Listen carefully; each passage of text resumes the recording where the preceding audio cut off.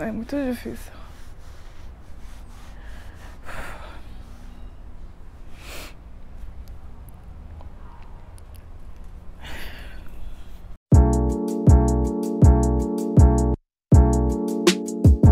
Além da dificuldade de ser uma new face, eu, eu, teria outra dificuldade por ser negra. Eu vou citar o São Paulo Fashion Week, que foi onde eu vi mais é, diferença, assim. Às vezes a gente ficava até uma hora, duas horas da manhã ali esperando sentada, sem comida, sem água, sem café. Tinha as modelos negras, mas assim, poderia contar nos dedos de uma mão quantas modelos tinha, no meio de, sei lá, umas 50 modelos brancas.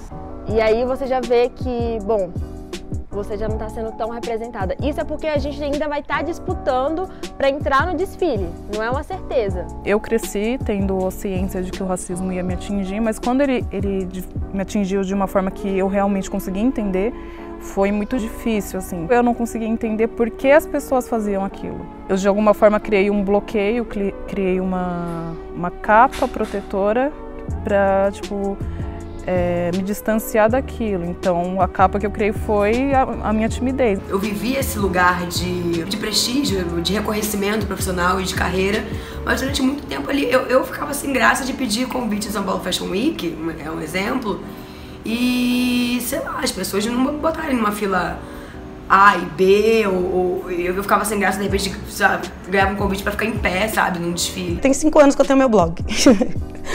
Então, há cinco anos atrás, quando eu quis criar um blog, eu fiz uma grande pesquisa. Eu não encontrei nenhuma blogueira de moda negra. A não ser as gringas, né? E até mesmo tratamento de, algumas, de alguns estilistas com a modelo negra, porque eles preferem as, algumas modelos negras que tenham traços de mulheres brancas, né? É, nariz mais fininho, é um cabelo mais liso, chapado, né, o cabelo crespo fora de mão, eles não aceitam. Né, eles simplesmente não querem, olham seu composite, te tratam como se fosse lixo, assim. Tenho 25 anos de carreira.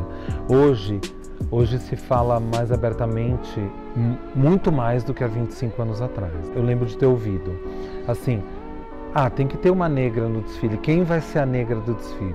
É engraçado. Lá no começo, soava natural. Só que foi passando o tempo e foi ficando feio essa frase, né? E eu vi coisas bem mais cruéis. Ah, eu não quero pôr essa foto no catálogo porque atrás de mim tem uma pessoa que é negra. As pessoas não dão o mínimo de, de importância para isso. Chamam de vitimismo, chamam de mimimi, como elas queiram chamar. E não entendem que o racismo continua matando tantas pessoas e que um dia posso ser eu. E eu não, cons não consigo entender isso. Uma sociedade que não aceita, que não. que diz que respeita, mas que na verdade não respeita. E eu penso porque eu quero ter meus filhos e como que eu vou explicar para eles que as pessoas não gostam deles porque eles têm um tom de pele diferente. Hoje as pessoas podem pensar, mas elas não verbalizam. Boa parte desse mercado engole com, com muita água. Tipo, ai, tenho que deixar o racismo de lado. Deixa eu tomar isso junto com um golão de água, sabe? As pessoas são muito racistas, muito racistas, muito racistas. Mas elas sabem que tem que aceitar os pretos. A gente vai ter que estar tá ali.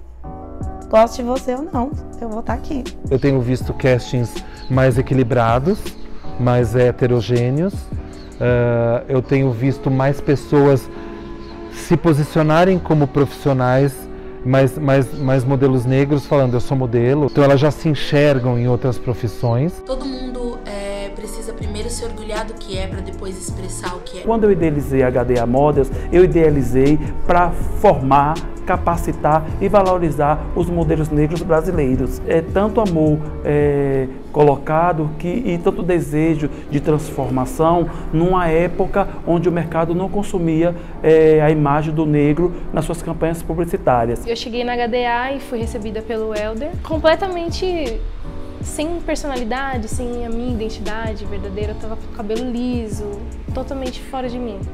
E aí o Elder ele virou para mim e ele falou: "Você precisa se aceitar, você precisa assumir as suas raízes". E aí eu saí daqui, eu confesso que eu fui embora revoltada, assim, porque ele, me- ele me questionou. Eu ainda fiquei com aquilo na cabeça durante muito tempo, né, me questionando.